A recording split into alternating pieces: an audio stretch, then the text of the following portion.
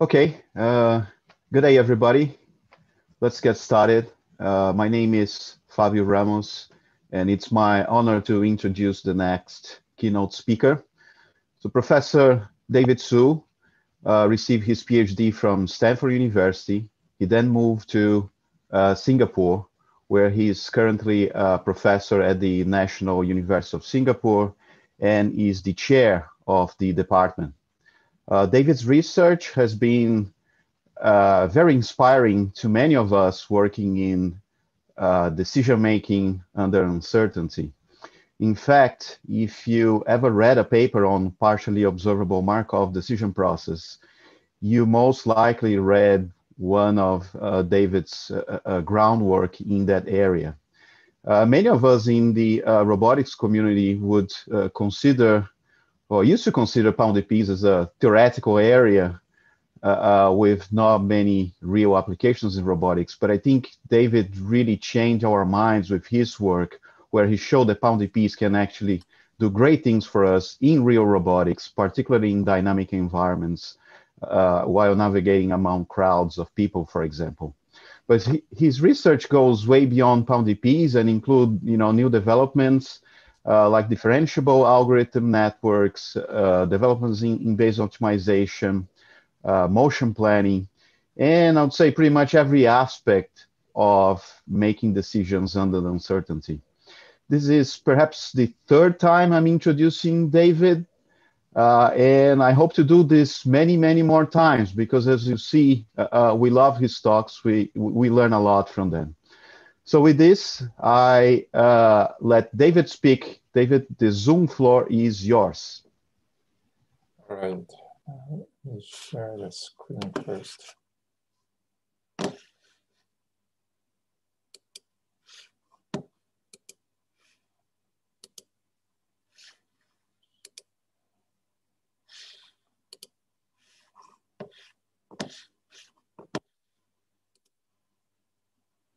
Uh, can you see my screen?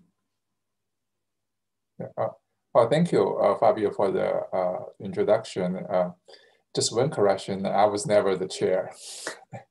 It's a it's a real pleasure to be here and speak on our work on integrating planning and learning.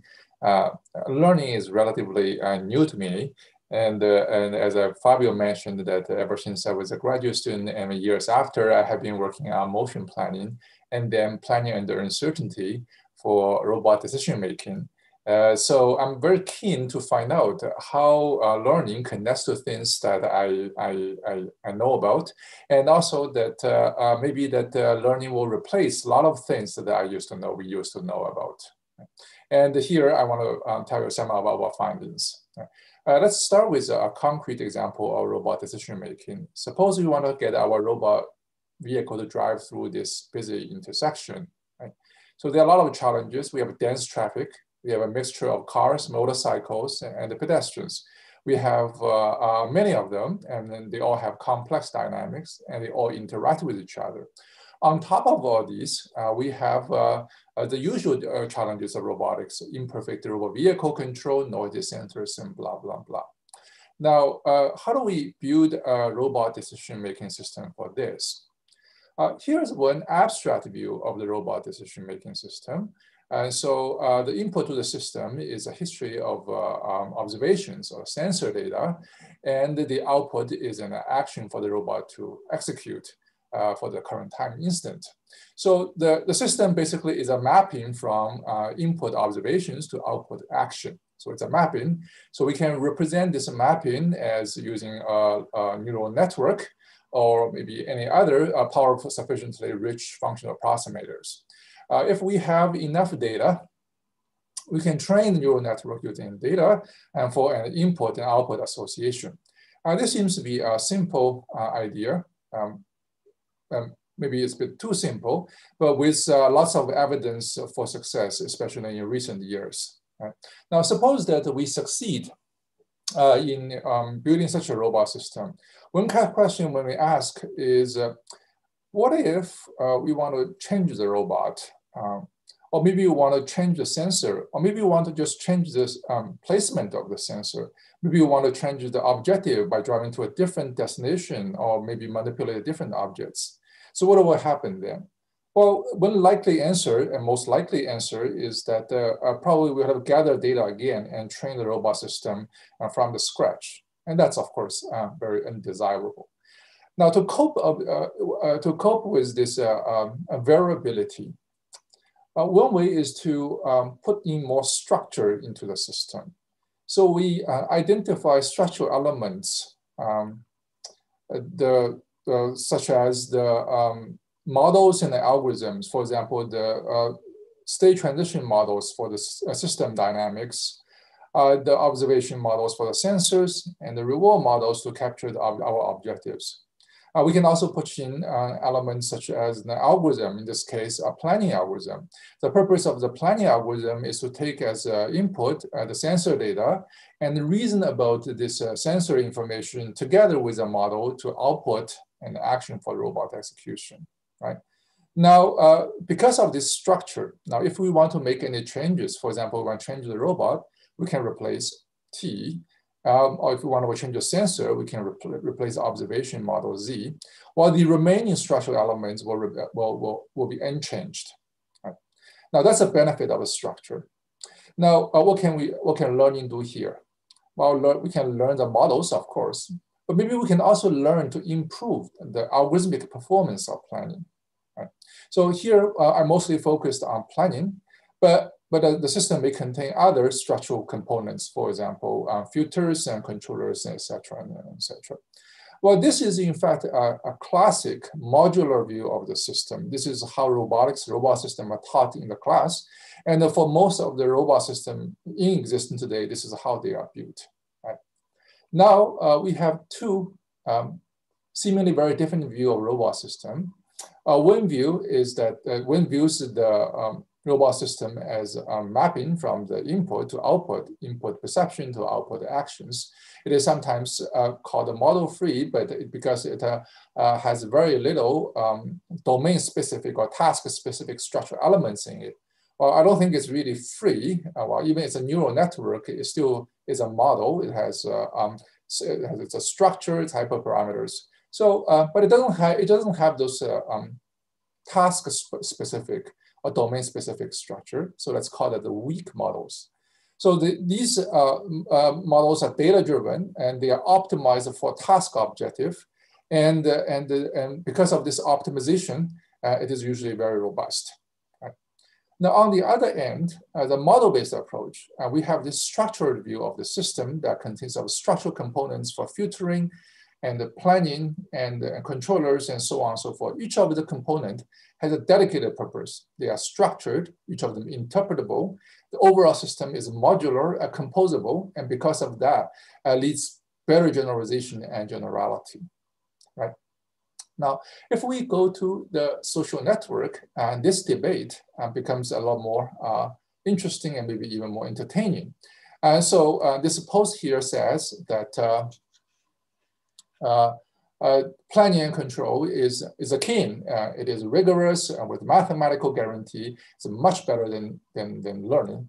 Well, I'm not sure that uh, by, by referencing the monarchy necessarily established the, the superiority of an approach, but let's keep in mind that the mathematical guarantee usually comes in the form that if the modeling assumptions all hold, then the guarantee also holds. Now, for any um, specific robot system in, in practice, how do we know the modeling assumption actually holds? And that is oftentimes the weakest part of the model-based approach, right? Now, the response coming from the learning side is much shorter. They usually will just say, well, can you do this? Or can you do this, right? And now let's keep in mind though, that for this specific instance, the, the success of the tasks that demonstrated here, in fact, are fairly narrow. Uh, as I mentioned earlier, if we change the robot or change the objective, change the object, uh, we probably have to learn, uh, relearn everything from scratch, which is highly undesirable.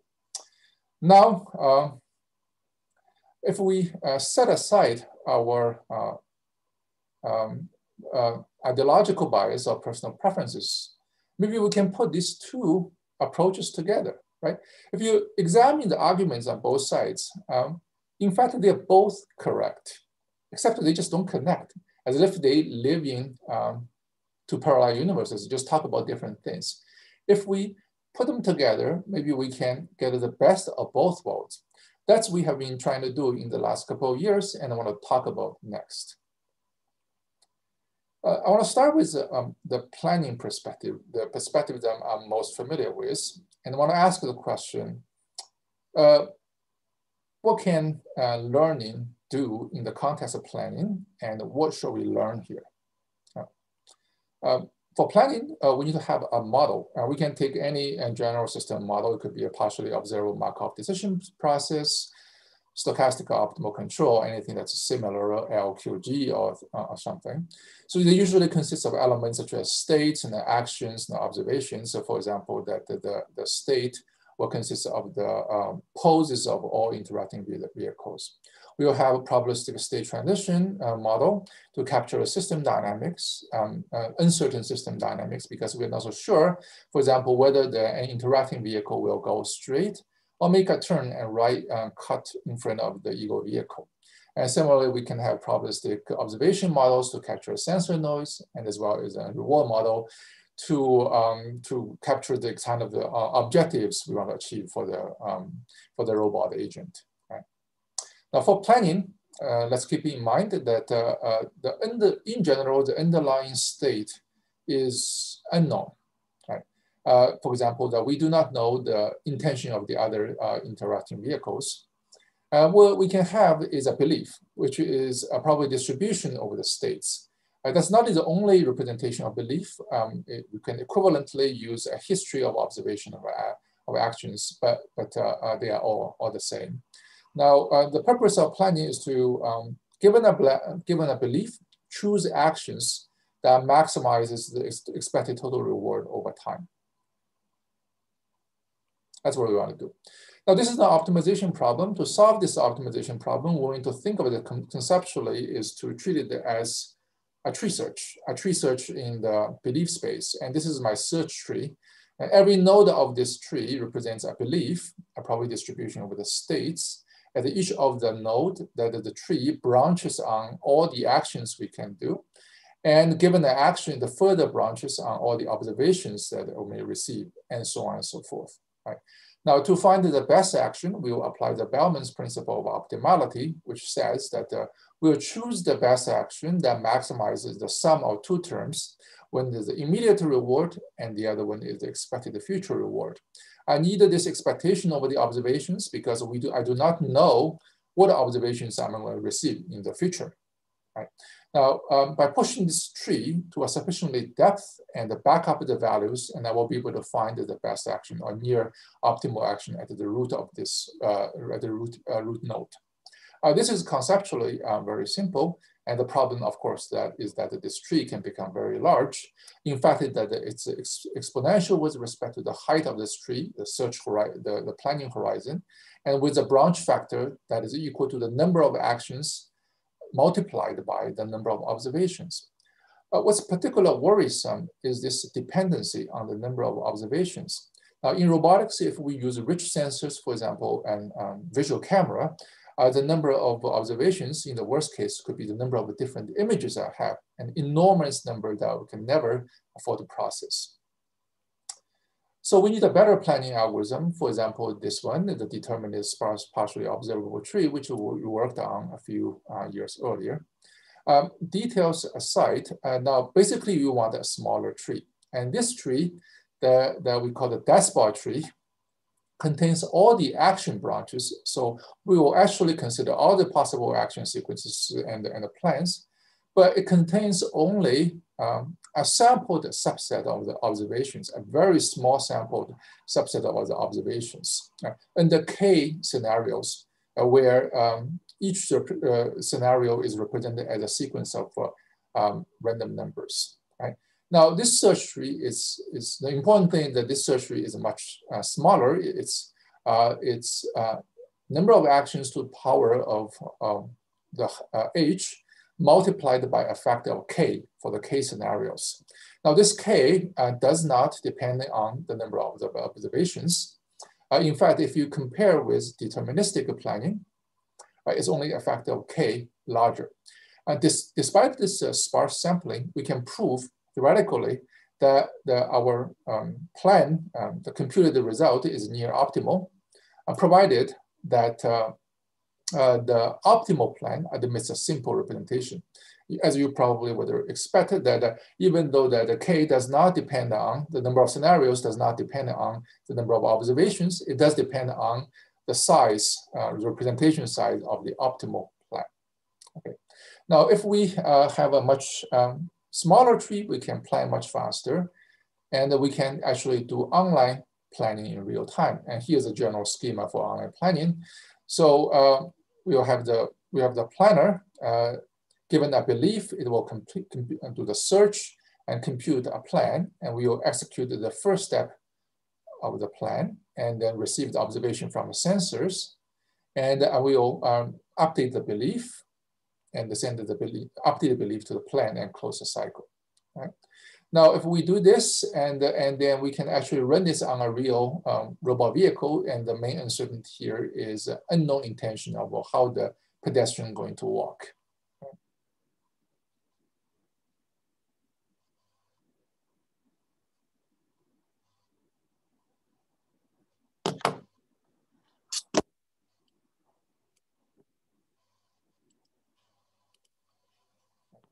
Uh, now, if we do this, um, this is um, do online planning alone. This is roughly the level we can get to. As you can see, this vehicle drives um, at a, a, walking speed or maybe a brisk walk, a slow, um, um, slow run. Uh, it can handle a crowd of people around 10, 15 people. This is roughly, we can do a little bit better than that by putting more uh, algorithmic tricks, but this is a level roughly where we can, we can get to. Now, what if we want to do better, uh, like the busy intersection, do more than that, like the intersection that uh, I described earlier? Well, we do something more. Um, now, let's look at this tree again and this problem again, ask ourselves, why is this problem so hard? Well, intuitively, uh, this tree is too big. It grows too fast you can just visually look at the scene and imagine all the possible paths that can wind around the different pedestrians. Um, now, this is a difficult search problem. Uh, let's compare it with another search problem that's also very hard, right? So this one, AlphaGo, we are familiar with, right? It's a very difficult search problem as well. Now, they are not exactly the same. Of course, our our um, problem is a little bit harder. It's partially observable with stochastic dynamics, it's a trending environment, so on and so forth. But still, it is a search problem. Uh, and so um, to um, make a search algorithm faster, roughly there are two main considerations, right? Um, um to make it reduce the branch factor. Uh, if I have an oracle that tells me that uh, which actions is more likely to be good compared to the others, maybe we can, I can prioritize the search and therefore effectively reduce the branch factor. Uh, the other thing we can do is that uh, uh if we have uh, um, oracle that tell me the value of the expected future reward of at a particular node. Now, if we have that, I can actually just skip the entire subtree below and effectively reduce the tree height. That's very powerful. And that's what we want to do. And in fact, that's we want to uh, learn a policy uh, uh, and the value network that perform the role of this um, um, oracle. So in fact, that we will learn a single, single network that, that, that, that share uh, for both the policy network and the, for both the policy and the value. And they will share a backbone that processes the input, which consists of a history of observations that each consists of the, uh, all the poses of all the interacting vehicles, and they're all encoded as, uh, as images that's sending a network. And this network has two heads, one outputs the, outputs the action, and the other outputs the value. Right? Now, to train this network, so we can run uh, the planner right? The planner will generate uh, the label data, and we can use it to train our um, policy and the value network uh, offline. And this um, gives uh, the simplest version uh, of our uh, learning from tree search. It's an imitation learning agent. Now, once we learn uh, this um, network, we can use it for search, right? And therefore, uh, my search becomes better and, and generates new data and feed it again to the learner and, and uh, improve the policy and the value network. And we can close the, and thus close the planning and the learning um, loop and continuously uh, improve the performance. Now, um, for those of us who care about uh, theoretical performance guarantee, um, with a little bit of work, we can actually uh, retain the theoretical um, guarantee. So what we need to do is to clip, clip the learned values between the uh, upper and the lower bound in the branch and, uh, and branch and bound search. By doing so, we can in fact retain all the theoretical guarantee that I talked about earlier. Now this is uh, uh, supervised learning. Now, can we do better than that? Now, what if I have, we, I have also access to a high fidelity simulator, or even I can have access to uh, the real world? Or can we do better? Well, in this case, instead of training the policy and value network using supervised data from planning, uh, we can directly learn it using reinforcement learning um, in the high fidelity simulator or even in the real world. Once we learned um, the network, we can again use it for, um, for search. And this time we are going to uh, the planner uh, in the high fidelity simulator and close the loop. Uh, what happens here is that uh, uh, we, um, our planner uses a simplified approximate model for planning because that's fast. But then we do reinforcement learning in a simulator with a much more realistic model, a high fidelity model, to absorb more realistic information from the world. And by closing the loop, we will push some of this into information into planning periodically and therefore improve the overall performance. Now, to evaluate our um, methods, uh, we of course cannot quite afford to uh, drive this vehicle into the real road on real road yet. So we built a simulator. So uh, we built the simulator that generates realistic traffic flow that uh, uh, on top of the CARLA simulator. And we can do this anywhere in the world, anywhere in the sense that any, any place that's covered by the open street map. We can pull the map and generate a realistic traffic flow on top of that.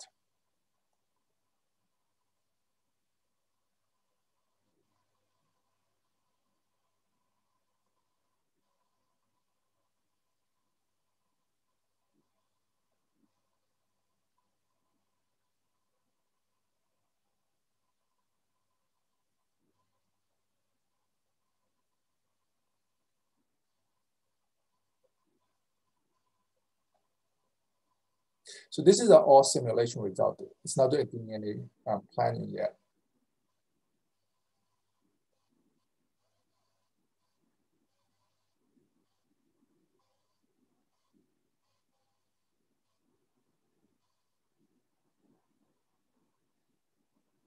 Uh, here's the planner. The screen vehicle is the one that's being controlled by the planner.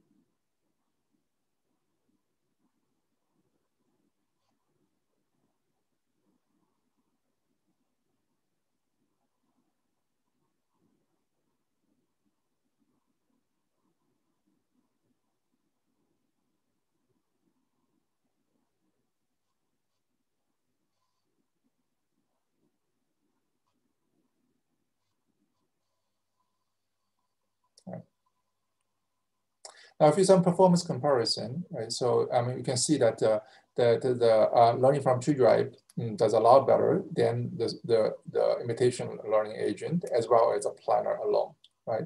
And the further that, uh, that if you compare reinforce the reinforcement learning with supervised learning, reinforcement learning will further improvements because that it's able to uh, absorb information from a more realistic uh, um, model.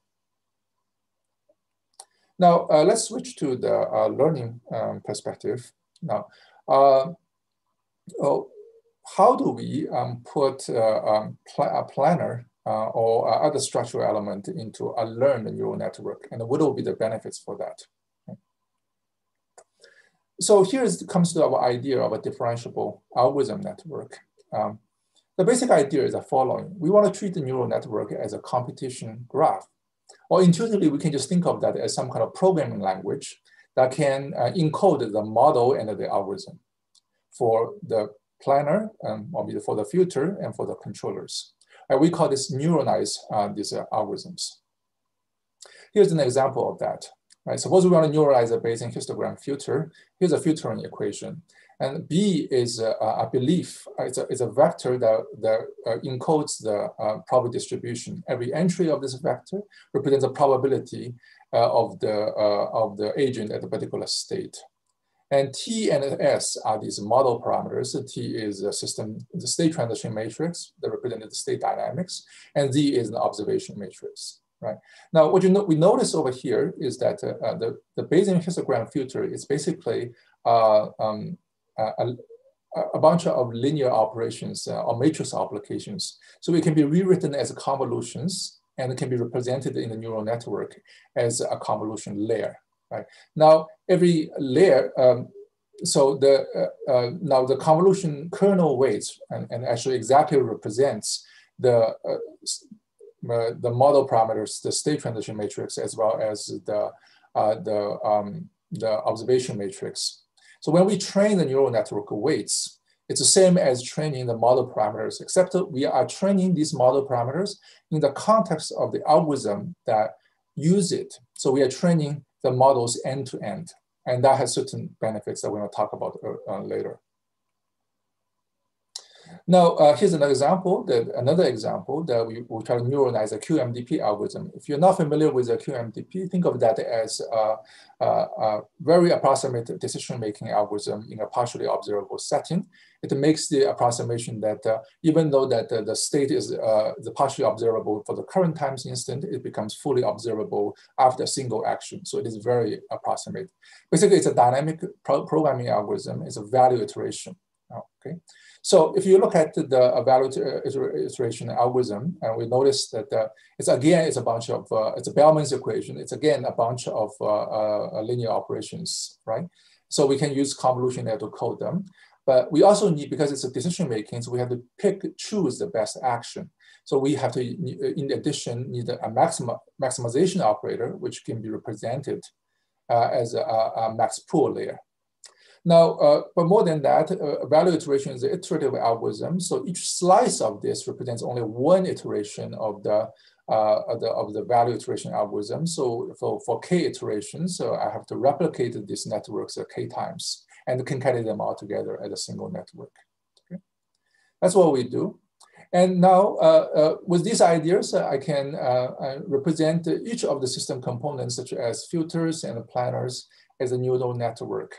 Now, if we do that, and now each of these system components has a uniform representation, and that is very convenient.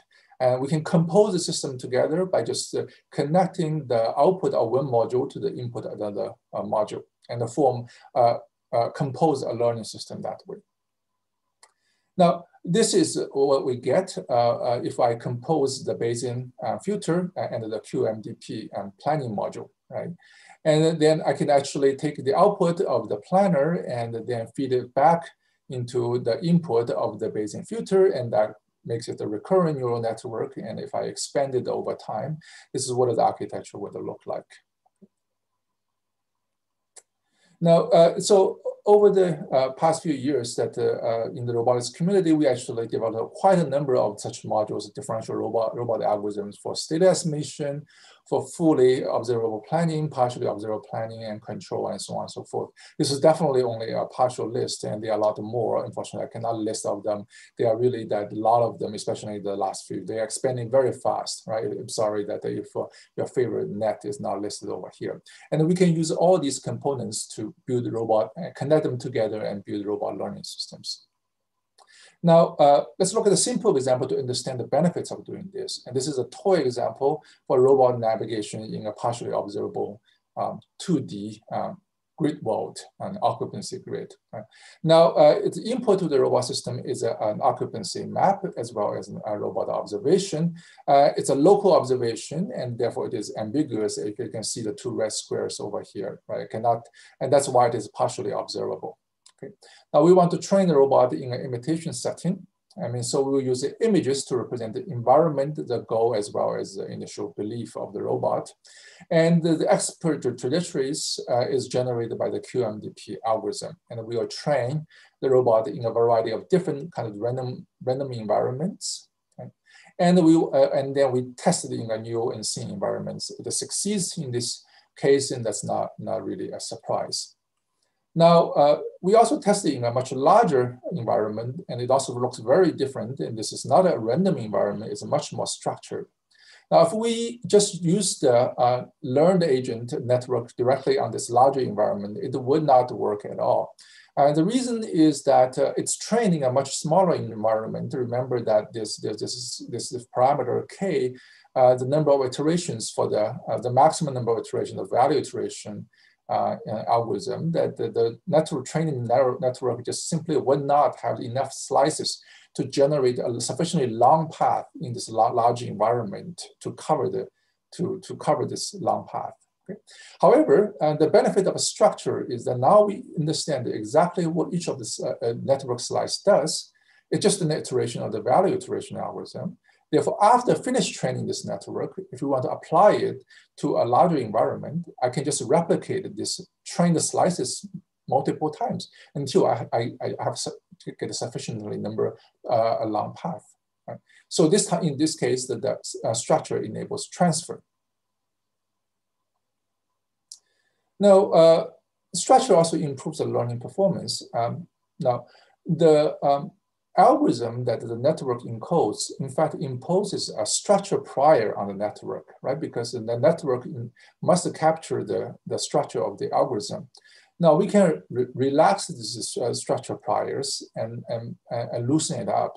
For example, that we can use um, uh, a CNN convolutional neural network to process the input images, and then, then we can use the LSTM to encode the history. And that can solve a problem as well with a weaker structure. This is roughly the, the architecture of the um, Q network, right? Or we can completely loosen all these structural constraints and turn it a generic uh, recursive neural network. Now, if we compare the performance as the structural constraints are gradually removed, and the success rate uh, decreases, and then the path length increases. So the performance starts to degenerate. Uh, we can perform the same comparison experiment, but this time in a larger environment. The trend is very, is very much the same, but uh, the performance gap, uh, gap becomes much more pronounced. Uh, this is expected because that as the, as the environment becomes larger, the task becomes more challenging and the more important the, the structure is, right? The more benefits the structure affords, and this is expected. Uh, what's more surprising uh, is uh, that uh, this in this example over here, the trained uh, network, the QMDP net, actually outperforms the, the, the, teacher, the QMDP algorithm itself in this particular example and in various other instances as well. This is a little bit surprising because the QMDP algorithm provides the training data for the train QMDP net. And it seems that the, the, the learner is outperforming the teacher, and this is surprising.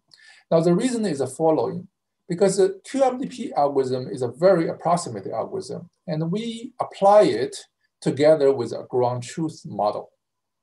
And the result, of course, is approximate, and in this particular instance is particularly hard. It's constructed to be hard for the QMDP algorithm because there's a lot of symmetry inside, and it's difficult to localize. Now, when we uh, train a neural network, uh, it's still the approximate algorithm, algorithm, but except that the QMDP net did not learn the ground truth model. It learned a model to perform well. Uh, in particular, what has learned is that it penalized very hard, artificially hard on those actions that stays put. It encouraged the robot to uh, move around and, and, for exploration purpose. So this is very much similar to what uh, RL engineer uh, would do. To, to do reward engineering, except in this case that uh, um, it's not a, a manually um, crafted, it's learned automatically from data. So end-to-end -end learning um, can compensate for the approximate algorithm. And we do this by encoding the algorithm into a neural network and train it end-to-end. -end. Now, of course, we want to um, also evaluate, try this on a more realistic navigation case. In this case, the partially observable navigation, give visual navigation again, but in a real 3D uh, environment, right? It's a, so the input robots is uh, uh, RGB images of the rich 3D world, and it also that has a map, which is a 2D occupancy map. Now, uh, uh, here's roughly what we want to do, right? So initially, robot does not know where it is, and it uh, now by uh, move around and getting visual observations, as you can see that it gets more certain of its, its location. And it eventually gets to localize really well and can navigate towards the goal. This is our the objective of our task right? Now think about, uh, uh, uh, now again, that we want to do this in imitation learning. We want to train the robot in a variety of different environments and eventually try to test it in a new environment. Now, think about how we would want to do this. And we want to do a pure model-based approach. We have to build um, uh, modules for state estimation, planning, and control. Now, one particular difficulty here is uh, about uh, that uh, this building observation model, right? Now, uh, this observation model would require us to say that uh, given the current map as well as the robot pose, uh, what's the probability of observing a particular image? Right? This is very difficult to build because we have to span the entire space of all possible images. Um, I don't know how exactly um, to build it. I mean, we can use a pixel-wise Gaussian model, but it is uh, uh, it is not very realistic compared to uh, when, we, when, we, when we use it in practice. Now, alternatively, if you use a pure model-free approaches, right? I mean, we can train over the, the large variety of different environments, but then it'll be difficult to, to generalize. Now, here is the final evaluation results. While the the then the differentiable algorithm network is sub substantially outperform both the model-free approach as well as the model-based approach, right? Now the performance gap over here is really because of the structure prior. By imposing this uh, structure on the neural network, we can learn uh, much more effectively. And on the other side, uh, compared to model-based approach, right? so the benefits is that uh, um, the, by the, um, by embedding this algorithm into a neural network and train the end-to-end -end using data, uh, we, uh, we compensate uh, for the various the imperfection in our modeling assumptions. Now, uh, finally, uh, that um, I want to um, show another example where we want to put the planning and learning together, this case in a hierarchy and let each play out its own strength. Okay. So the task we want to solve is to, again, navigation, visual navigation. Imagine that, uh, that we come to a new place, a new building. Uh, you come to our NUS school computing for the first time. For any of us humans, that all we need is a visitor's map, right, like this, and then you, can, you will be able to find my office and come and navigate around the building. Now, if we replace a human with a robot, well, the robot also needs a map, but now this visitor's map, usually uh, a high resolution and point cloud, right? Now the question is, uh, can we uh, replace this high, uh, high, um, high resolution 3D point cloud with a visitor's map and the robot still can navigate? And that's what we want to do. Now, so we can come up with a two-level uh, architecture at the high level. We just use, we just really literally download the visitor's map from our school's website with a little bit of image processing that we turn into an occupancy grid. Then we can apply a search algorithm um, to search for a path. Right? Uh, so as a high low, it seems very uh, straightforward. Now, to actually execute the path, uh, we need a, a, low level navigation controller. So we, uh, we are going to use the input to this navigation controller consists of uh, um, a single monocular camera uh, looking forward. All right uh, as well as uh, this image, which we call intention, right, uh, at the robot's current location. So Uh, the intention contains three channels of information. One is a piece of trajectory that the robot is about to execute in the, in the local region. And also, which is marked in blue over here. And also that uh, uh a piece of trajectory the robot just executed, as well as the uh, local environment. They coded together into a single image. So we'll train a neural network, take these two inputs, these two images, the monocular camera image as well as the intention, and output uh, an action for the robot to execute. The robot will execute it and will re-localize with respect to uh, the coarse map, and then and then recompute the plan and the, that close the loop. Right? So um, at the high level, uh, we choose planning because we have uh, a coarse map that can serve as a model that enable us to plan and cope with the combinatorial complexity of routing, right? At the low level, we actually have to, uh, we don't have a model, building a model at the low level to handle all the perceptual uh, complexity is very difficult. Therefore, we learn. So this is the motivation of our two-level architecture. We also in, inspired uh, basically by um, human driving uh, under uh, a, GP, a GP, GPS guidance, right? So this is uh, what you usually see on a, on, a, on a GPS unit or your mobile phone, right? And on the corner, you will see that the GPS will give instructions and 0.2 miles ahead, make a left. this is very similar to our intention, except that our intention is a little bit richer in terms of the information captured over there. Okay, now, uh, so essentially that uh, our low-level intention controller uh, replaces uh, the human driver, right? Now let's look at the, the results. We, we train our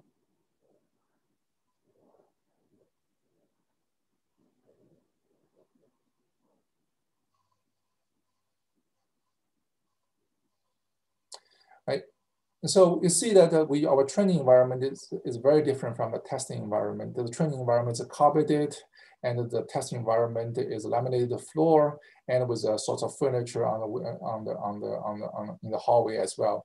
And also the, our building is on a hill and in the training environment, it's, it's spread out with all sorts of rooms, while on the, on the testing environment, it's just basically a long corridor.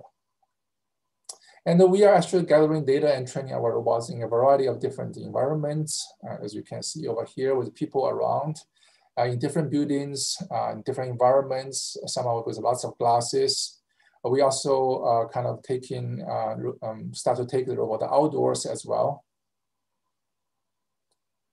Uh, on the low upper left, you can see that it's going through a glass door. And what's interesting in the glass, this glass door is it's not even ma marked on the map.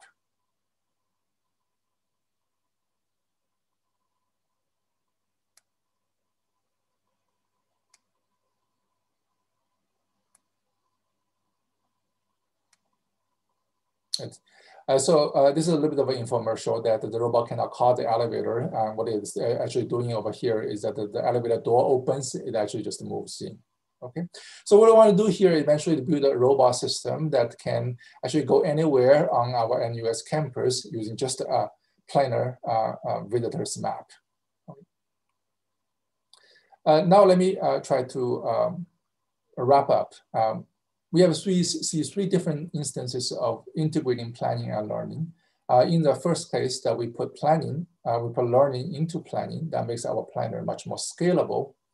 In the second case that uh, we put planner and other structural elements uh, into a learning neural network that made the network more structured, more interpretable, it's modular and composable.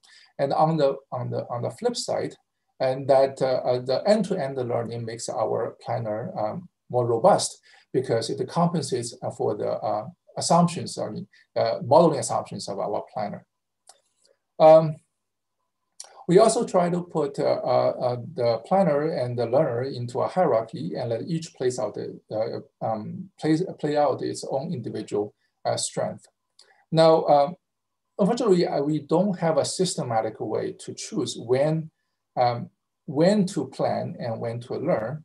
But this example, uh, at least I hope that indicates that, uh, that uh, the deep understanding of the core task characteristic is essential uh, for making uh, informed choices. And, and there, there are uh, many um, different possible combinations over here.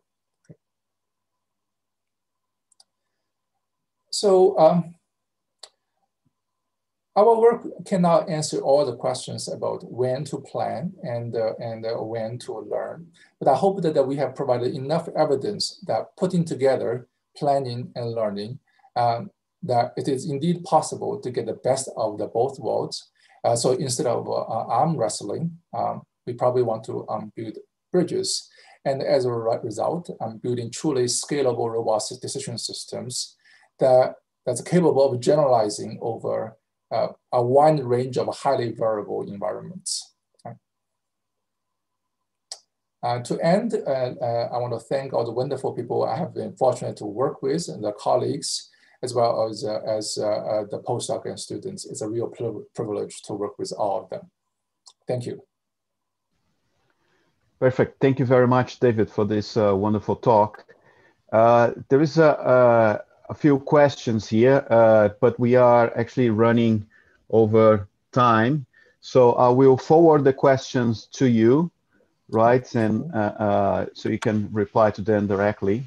Uh, but thank you so much for this wonderful talk. And I so, will, uh, uh, yes? should I reply offline? Yes, please. Yeah, I will type it in, in the in the chat and uh, and you can reply offline, right? Okay. But I'll hand it over now to uh, Gerard, who is chairing the uh, uh next session. And uh, by the way, if any of you have questions, please type in the Q and A, uh, and I will forward them to David. Thank you again.